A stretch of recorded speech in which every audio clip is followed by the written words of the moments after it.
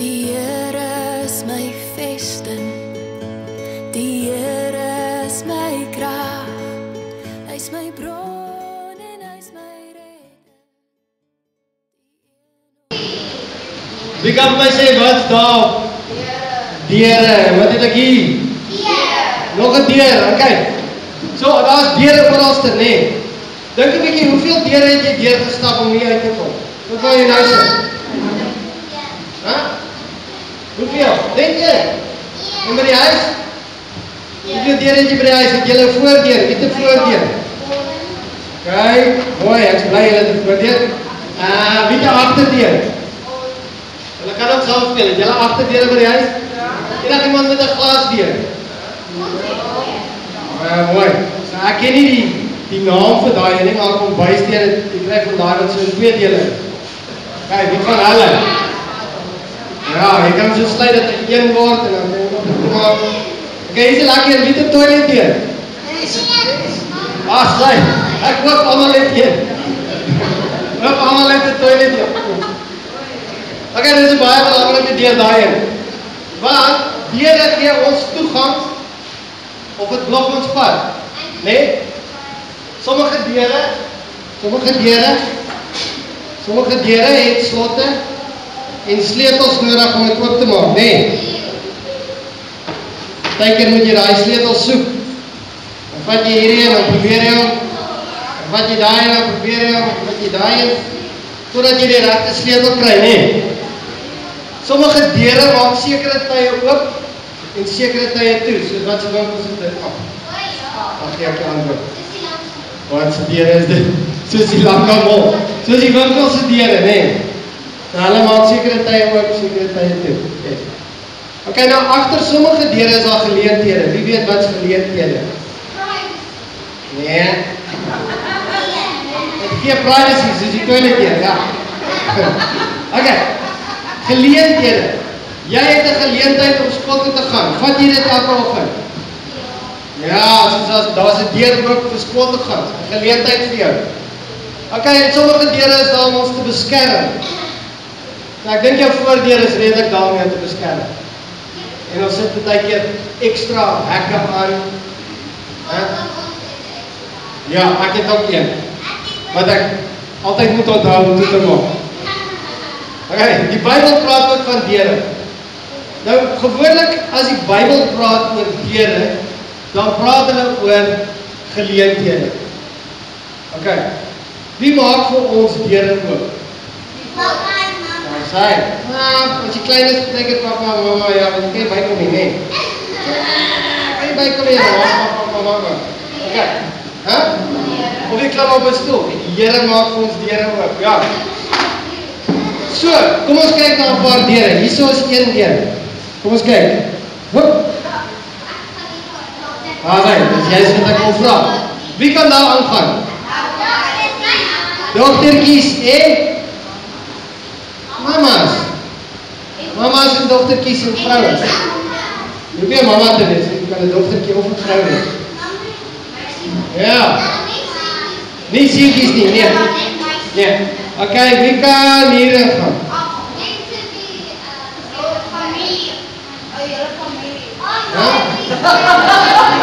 Julle julle familie. Okay nou. Ek iemand wat seer gekry het wat in 'n rolstoel sit. Nou ek moet vir julle sê ek was ook al een keer by daai ene in. Maar die ander was toe. En ek moes gaan. Maar wat nog lekker is, is daar's klomp spasie. Hè? Dis cool, jy kan 'n hele familie daar oppak. Maar dit is eintlik vir gestremde mense en mense met rolstoele. In rolstoele. Okay, dan Nee, wel, staff. Are you American? Staff only. Mense wat daar werk. Okay. So mense wat daar werk kan daar aangaan. So julle stem saam met my dat sommige deure is vir spesifieke persone. Net so gaan God vir spesifieke persone spesifieke deure oopmaak. En baie keer wat met ons gebeur, hè, is ons sien 'n deur gaan vir iemand anders. Wat gebeur? wil ook dit hê. Ek ook dit hê. Of hierdie ou begin hierdie amazing bediening en klomp mense gee hulle harte vir die Here en hy, maar Here, ek wil dit ook hê. Maar elke deur is spesifiek vir elke persoon. Nou, dit is seker maar goed om so iets te wil hê, maar gaan sit by die Here en vra vir hom, Here, wat wil U vir my gee? Wat is my deur wat U vir my gaan opmaak? My spesifieke deur vir jou toekoms en wat jy gaan doen. Dink jy nie dis belangrik nie? Dis baie belangrik om te weet en julle kan van kleins af al begin uitvind wat is die deure wat God vir jou oopmaak. Want hy het vir jou talente gegee. Ja, ons gaan nou nou by dit uitkom, ek gaan jou wys. OK, ek wil net seker maak ek doen alles nie. So ons moet elkeen gehoorsaam wees en doen wat God vir ons sê. Nie wat hy vir ander ouens sê, wat hy vir ons sê. Dis hoekom dit so belangrik is om tyd te spandeer in God se woord sodat ons kan weet wat is die plan? Wat is daai deure wat die Here vir jou oopmaak? OK. Nou hierdie sorry, hierdie ene hierdie ene laat my ook dink aan mamma se pappa se werk. Partykeer of net partykeer werk doen waarvan ons nie hou nie, nê. Julle wou by skool. Hou jy altyd van skoolwerk? Ja. Moet jy dit doen? Ja. Nou kom ek sê vir jou ene. Die manier waarop jy dit doen kan bepaal watter volgende deur vir jou oopgaan. As jy jou huiswerk doen, nê? Nee, wat se deur gaan vir jou oopgaan? Jy gaan goeie punte kry en jy gaan Ja, die slim deur. Hier so die klaskamer. Ja, ons moet almal daardeur stap, nê? Nee. Maar mamma en pappa se werk, miskien bid jy en wag vir 'n deur om op te gaan. Miskien vir 'n ander werk, miskien vir 'n verhoging of 'n iets om in jou werk te gebeur. Nou, ons moet kyk na hoe ons die werk doen wat ons nou het om te doen. Want dit gaan bepaal die deur wat gaan oop gaan later. Het julle dit? So, baie keer met eerlikheid. Maar ek wil julle vertel van 'n ou se naam is Todd White. Ek weet nie wie hom al gesien het. Dis 'n dis 'n ou met sulke dreadlocks. Hy lyk sommer baie weird. Nou, hierdie ou het 'n rowwe lewe gehad. Hy was verslaaf aan dwelms. Né? Nee? En hy was toegesluit in tronke. Hy het mense sleg behandel, hy het mense geslaan. Hy was regtig net 'n aardige mens. En hy was verslaaf aan dwelms. Toe ontmoet hy vir Jesus. 'n Ou het hom geskiet, nê? Nee, so, seker 10 meter van hom af. Hierdie ou hom geskiet. En nie een van die bullets het hom geraak nie, nie een nie. En toe sê Jesus vir hom, ek het daai bullets vir jou gevat. Lewe vir my. Ha, kan jy dit glo? Met daai ehm um, wat jy dit? Miracle. Wonderwerk. Met daai wonderwerk gee hy sy hart vir die Here en hy begin die Here se werk doen. OK? En hy gaan toe een keer, het julle al gesien as mens as mens vir 'n werk moet aansoek doen, moet jy vorm invul. Wie daar gesien het mamma pappa daar 'n vorm invul? Dan moet jy alles daar skryf. Jou skoolgrootte, hoe oud jy is, wat jy alles gedoen het. Né? Nee? En dan kom dit by 'n sekere plek waar jy moet skryf of jy al toegesluit was in 'n tronk en of wat se berg het al met jou gebeur. En hierdie ou het vir Jesus ontmoet. En hy gaan hy vat hierdie vorm en hy gaan skryf alles neer. Alles wat hy gedoen het, alles waar hy toegesluit is. Hy jok nie een keer nie. Hy sê Here, want ek jok nie meer nie. Ek stap op die pad saam met U. So ek gaan nie jok op hierdie vorm nie. Baie alle ander werk het hy gejok. En hy het gesê hy was nog nooit toegesluit nie. Want hy by Jesus ontmoet en sê ek stap op die pad saam met U. Ek skryf alles neer. Hy gaan na sy huis toe en hy sê vir sy vrou Ek het my vorm ingevul en raai wat? Ek het die waarheid gepraat. Ek was sê, ag nee. Jy gaan nie die werk kry nie. Wie gaan vir jou die werk gee? Iemand wat hoeveel keer toegesluit is, al hierdie goed. Is jy stupid? En 'n wonderwerk het weer gebeur. Die mense bel hom. En hulle sê vir meneer, ons wil jou graag sien. Haar was 'n vrou toe hy sê, "They want to see me." Hulle wil my sien. En ek gaan in en ek gaan sit daar en die mense sit voor hom en hulle kan nie glo waar hierdie ou deur was nie. En omdat hy so eerlik was op daai vorm, het hulle vir my werk gegee. En hy sê dit verder, hy het hom so hard hard gekry en hy het hom ge-Jesus. Hy het hom ge-Jesus voor en agter. Hy het stickers opgeskryf, geplak en geskryf dat dat wat uh wat is daai skrifgie Colossians 3:17 wat sê doen alles tot eer en verheerliking van die Here. En hy het so hoed aangesit en hy begin werk daar. So daai eerlikheid van hom het 'n deurkop gemaak dat hy die werk kry. OK. Daar soos julle sin klaskamer. OK, die manier wat jy deur hierdie deur loop, gaan bepaal wat se punte jy gaan kry en hoe jy gaan hoërskool toe gaan. En die manier as jy in die hoërskool is vir die tieners, die manier wat jy deur daai deur stap gaan bepaal of jy universiteit toe gaan. OK? So elke deur wat oop gaan, hang af van wat ons met die vorige een doen. Wat sê dit nou weer onverwacht? Okay, soms is daar deure waar ons nie wil omgaan nie. En die een gaan afval.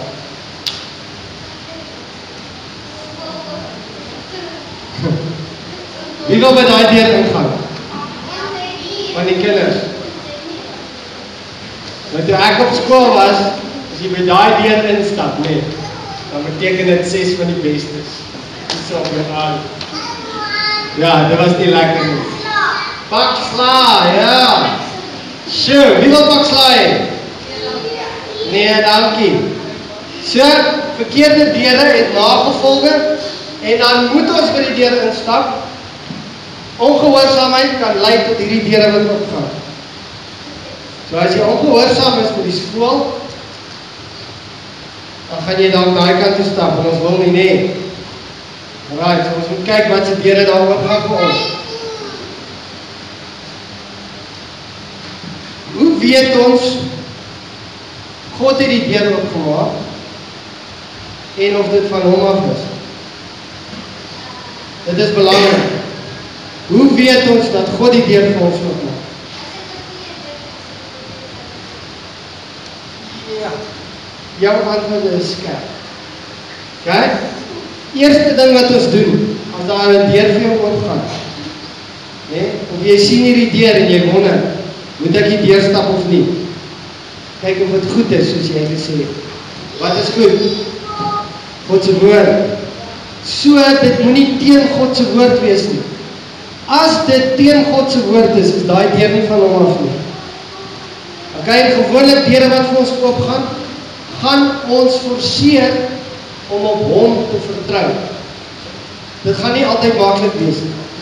En as jy deur daai deur gaan, wat aan die ander kant? Dis nie net ons kyk en rus nie.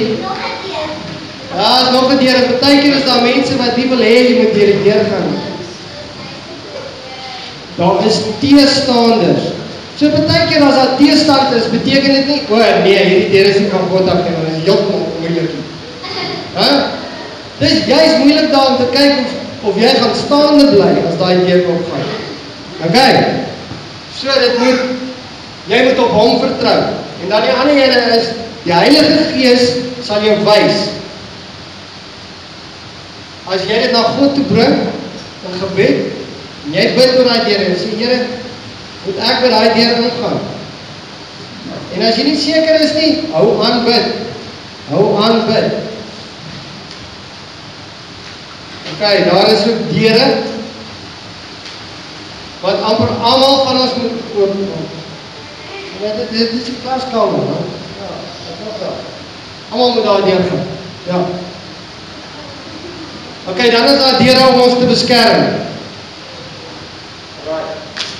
Kyk nou hierdie. Oh oh. Daar staan oppas. Moenie ingaan nie. Kyk daai skedel. Wat beteken dit?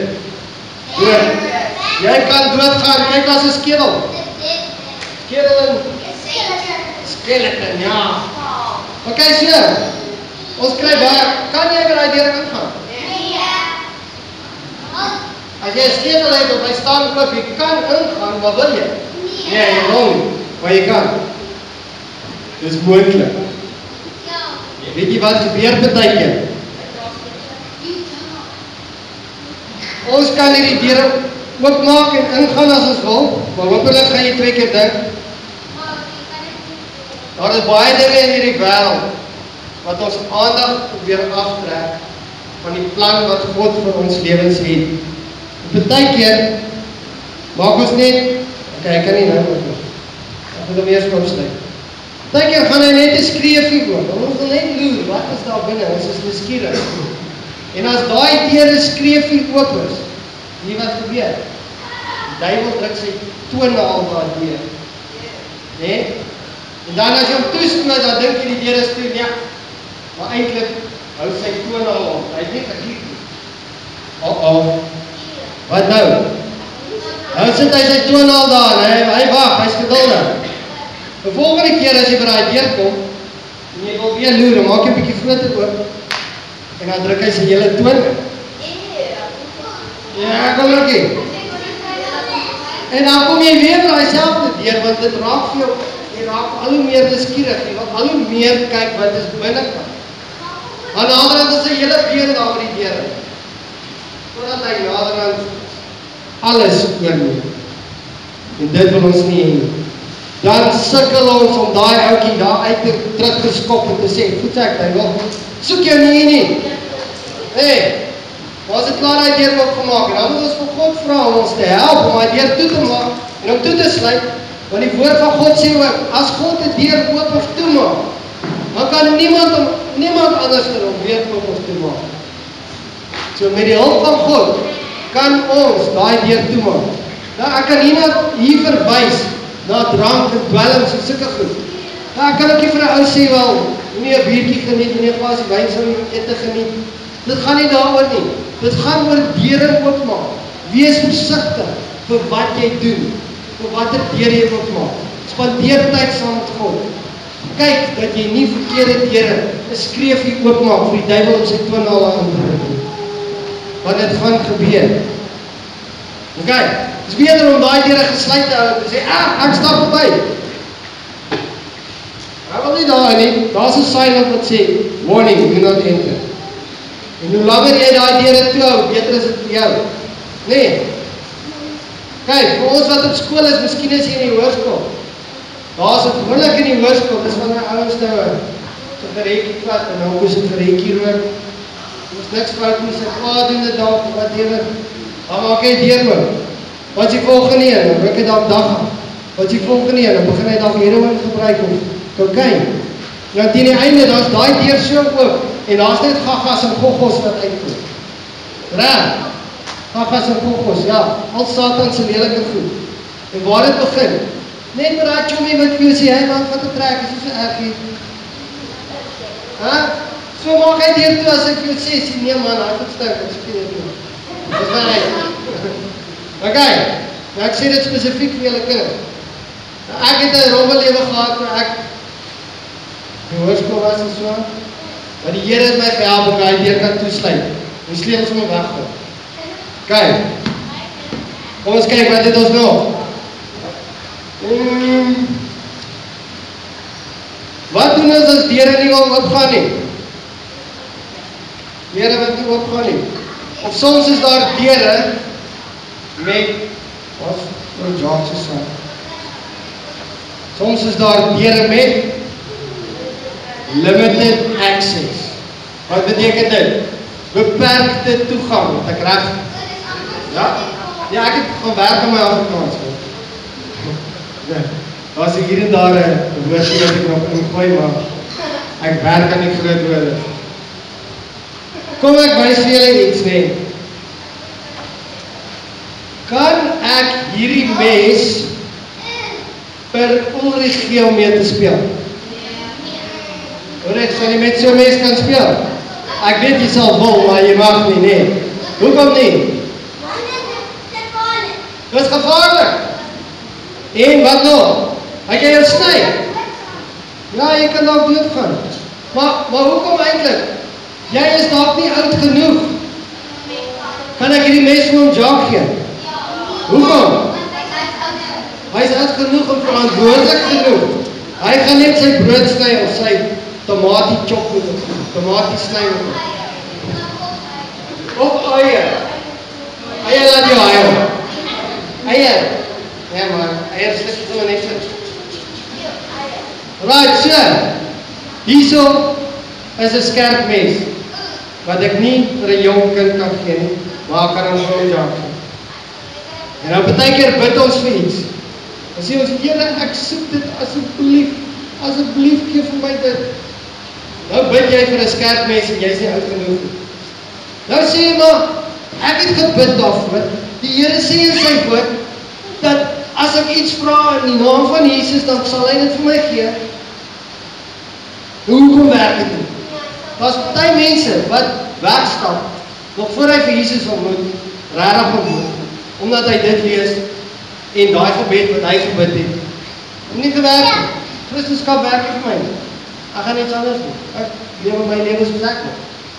Maar wat hy nie besef het nie, is as jy daai skrif mooi gaan lees, sal jy sien daar staan whatever jy vra, wat jy ook al vra, in my naam sal ek vir jou gee.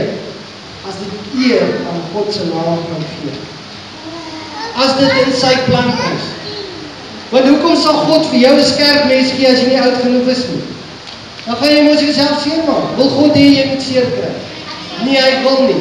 So, terwyl jy wag, dit is dalk iets wat jy gaan kry. Maar terwyl jy wag, gaan doen beplanning vir wanneer jy daai mes gaan kry. Gaan doen beplanning. Gaan skryf neer wat jy alles met daai mes gaan doen. Want as jy daai mes kry, dan weet jy, hier is die dinge wat ek gaan doen. Hæ? En net so in ons lewens. Jy skryf neer al die plekke waar jy wil gaan, wat jy as die Here ministerie op jou hart sit. Dan skryf neer die plekke waar jy gaan voordat daai deur oopgaan. Ons doen dit in geloof. Ons hou dit hier, ons maak planne. Die Here het vir my gewys Nehemia wat die muur gebou het. Hy het by die koning die koning het gesien hier sit Nehemia sak en as. En hy kom na Nehemia toe. Die koning kom na Nehemia toe. Hy het gebid. Nehemia het gebid en gesê Here, hy wil hierdie hierdie mure gaan bou. Sy mense is besig om beroof te word en daar's nie mure nie. Daar's nie deure om hulle te beskerm nie. Daar's nie mure nie. En hy bid toe en hy sê Here, help. En toe kom die koning eendag, die koning kom na Nehemia toe. En hy sê vir hom, "Wat kan ek vir jou doen? Ek sien jy lyk lyk of jy honde jou kos afgevat het amper." Nou dit staan nie so in die Bybel nie, maar dit is daar vergelyk het. En hier sê die koning, "Wat kan ek vir jou doen?" Wat kan die koning vir jou doen? En Nehemia sê toe, hy weet toe presies wat hy wil doen. Hoekom? Want terwyl hy gewag het, het hy beplan. Hy het beplanning gedoen en gesê as die koning ja sê dat ek kan gaan, gaan ek soontoe gaan en ek gaan dit doen en ek gaan dat doen en ek gaan dit doen en ek gaan dat doen. En toe die koning sê ek kan gaan, toe begin hy daai muur bou. Né? Nee? Toe daai muur bou, was daar teestanders? Ja. Daar was mense wat gesê, "Jy mors jou tyd." Wat probeer jy doen? Hom gelag het. Mense wat probeer het om sy tyd te mors. Wat vir hom gesê het, "Man, kom sit eers hier bietjie by ons en gesels." Om sy tyd te mors, dat hy nie muur kan bou nie. Maar hy was gehoorsaam. Onthou ons het so diens gehad waar hy met een hand het hy 'n troffel vasgehou, gebou en met die ander hand het hy 'n swaard vasgehou om die mense weg te jaag wat hom probeer stop. Hæ? Ja, so as daai deure oopgaan mense, dan moet ons weet wat ons gaan doen. OK, dan gaan ek nou kom by die belangrikste deel. En ek weet sommer al julle kinders weet die antwoord. Nee, hierdie hierdie deur het ongelukkig 'n sleutel. Ongelukkig. Ja, dan sê hoor net hierdie kinders. Hæ? Jesus het gesterf vir ons sonde. Nou hier staan 'n deur. Dis dis hierdie spesifieke deur wat hy langs my staan. Hy's nog al dieselfde kleur as daai. Daar's 'n klomp deure wat jy kan kies, né? En 'n klomp sleutels wat 'n klomp deure oopmaak. Maar daar's een deur wat die regte deur is. En Jesus sê, Ek is die weg, die waarheid en die lewe. Niemand kom na die Vader toe behalwe deur my nie. As jy daai vir enige ou in die wêreld sê, word hulle kwaad vir jou. Want die mense dink ek, ja, ek kan as ek 'n goeie mens is, soos ek alraai, sal ek hemel toe gaan. Of ek kan 'n boeddhist wees of 'n dit wees of 'n dat wees. Dis goeie goed. Maar die Here sê in sy woord, hy is die weg en die waarheid en die lewe en dis waar die sleutel aan. O, oh, dis agter, daar's hy. Daar's ons sleutel. Hy's so klein, ja. Maar dis die sleutel vir hierdie deur. Die belangrikste deur. Nou ek wil vir julle sê hierdie sleutel is wat? Hierdie sleutel is geloof. So om daai deur oop te sluit, moet jy geloof hê in Christus. Jy moet eerstens moet jy erken dat jy 'n sondaar is. Adam en Eva het alles vir ons verwoes toe hulle daai vrug geëet het. En so het ons almal sondaars geword. Jy al gesien kinders, as kinders klein is, moet jy hulle leer om stout te wees. Nee, jy leer nie kinders om stout te wees nie. Jy moet hulle leer om goed te wees. Daar's vir jou 'n bewys. Ek kan dit vir enige ou sê. Daar's 'n bewys ons gebore in sonde. Jy hoef weer kind te leer om stout te wees. Hulle vat dan goed wat hulle nie moet nie. Jy sê moenie dit doen nie, dan doen hulle dit. Ongehoorsaam, net soos Adam en Eva. Gebore onder Adam, daar's sy. Moenie aan dit vat nie. Ek onthou my laaitjie. Sê ek vir hom, moenie aan daai ding vat nie. Dan gaan hy sê. Maar kyk hy my, hy toets hy my. Dan sê ek, as jy aan daai ding vas, gaan ek jou aanslaan. Pat hy, wat sê ek sê? Hy toets my die hele tyd. Bewys. Ja, nee, hy toets my nou nog, maar dit is bietjie beter. Kan groei sien, maar ek kan groei sien. OK. So, geloof is hoe ons die deur oopmaak. So ons erken ons is sondaars. Ons weet almal niemand van ons het nog nooit iets verkeerd gedoen nie. En dan moet ons glo dat Jesus aan die kruis vir ons sondes gesterf het om ons skoon te was. Dis soos wanneer jy in die modder was en jy gaan stort. Ja, en dan is al daai vuil afgewas. Dis wat Jesus vir ons doen. OK, nou luister hierso want hierso is waar Jesus gesê het hy is die deur. Jesus het gesê ek is die deur. As iemand deur my ingaan, sal hy gered word. En hy sal ingaan en uitgaan en weiding vind. Hy het vir die mense verduidelik van skape. Lankterug het hulle skaapkrale gemaak, hulle klippe so gebou en dan was daar 'n ingang. Né? Nee? En dan het die skaapherder het daar by die ingang het hy gelê. Hy was die deur. So as 'n skaap wil uitkom, dan moet hy bo op hom trap en word hy gewak. Né? Nee. So Jesus is die deur vir die skape. En as jy wil ingaan en uitgaan daardeur Jesus, dan gaan jy uit trap op Jesus sien hierdie skaapie is honger en hy gaan eet. En hy gaan vind weide. Jesus pas hom op. Skape nee, skape het herders nodig. Het jy dit geweet? Gaan lees 'n bietjie oor uit oor skape.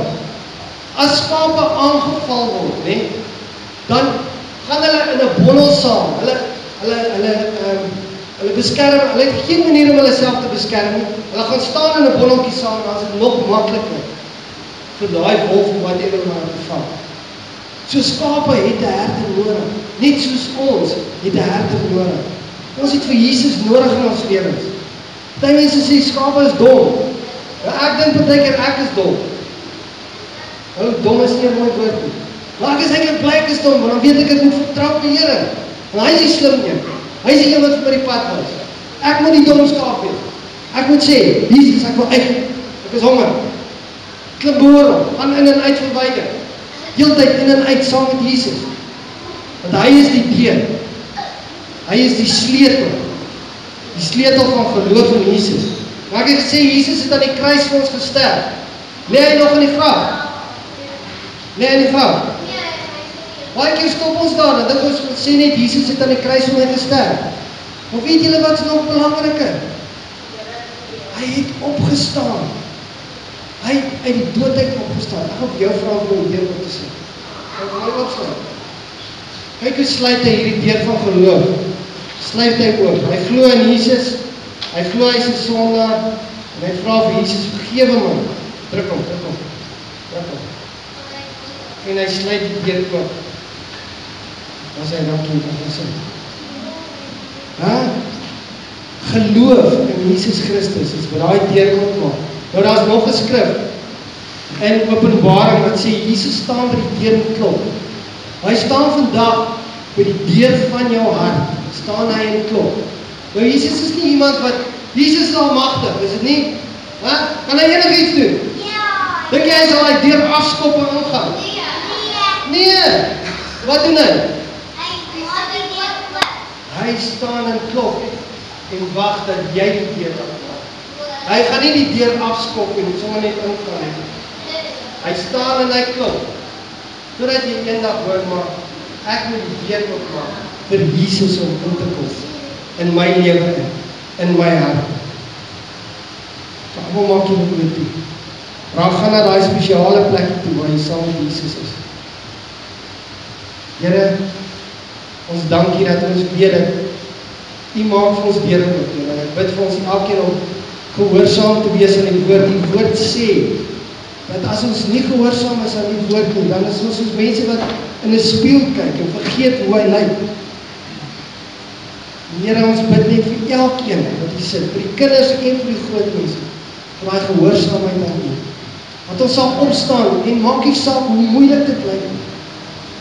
Dat ons sal opstaan en gehoorsaam wees aan U.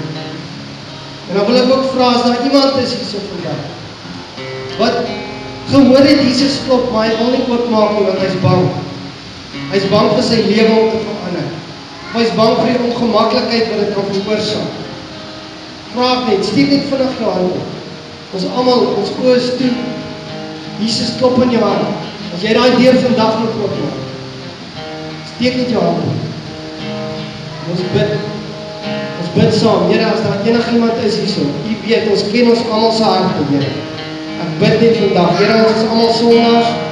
Of ons was sondaars, ons is U ontmoet het. Ons is nou gelowiges.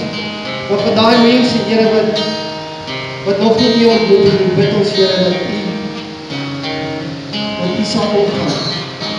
Dat hulle die deur sal oopmaak. En U innooi in hulle lewens. En as ons dalk weggedryf het 'n bietjie en ons het Jesus daar uitgejaag. Dat ons net opreg weer vir ons sê Jesus vergewe my, kom terug. Kom sit in my sitkamer. My deure is oop.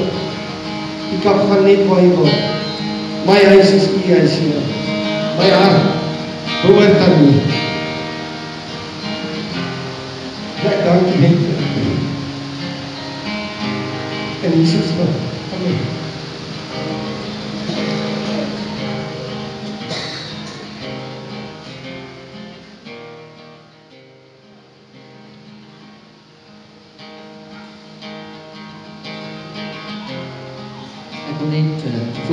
Afsluit. Al die kindertjies, julle kan by julle mammas gaan sit vir hulle. Ek wil net terwyl Wouter praat en net een skrifgie op my hart waarmee ek wil afsluit en ons het gebied dat ons lekker in oorwinning hier wil afsluit. Luister net gou hierso op Openbaring net om aan te hak by Wouter. Openbaring 3 skryf die Here aan 'n klomp gemeentes. Een van die gemeentes spesifiek is die gemeente van Philadelphia. En hy skryf die volgende aan die gemeente van Philadelphia. Ek wil hê jy moet dit hoor in die lig van hierdie boodskap oor die Here. Ja, die woord is bedien vir kinders. Maar ons as volwassenes maak baie keer die grootste foute om met die Here in te gaan waar ons nie moet in. Amen. En ons besef nie altyd dat wanneer ons groot en oud kan wees dat daar's limited access vir my ook. As ek 'n kind van God is, dan sê die Here vir my maar wysheid is om nie in hierdie deur te gaan. Partykeer probeer ons ons vreeslik by die Here oop forceer. Ons is ongeduldig. Ons wil nie wag vir God se tyd nie, ons wil iets uitdruk.